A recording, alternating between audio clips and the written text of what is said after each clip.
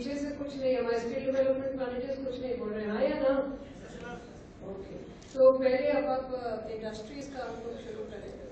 और हम लोगों ने 113 स्किल डेवलपमेंट सेंटर्स प्रदेश में स्थापित कर चुके हैं।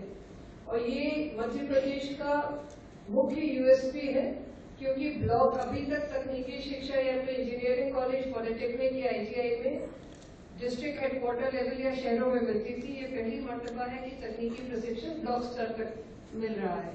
तो हमारे एसडीसी स्थापित हैं।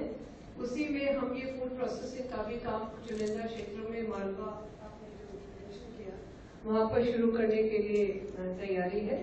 तो इस उसके साथ आप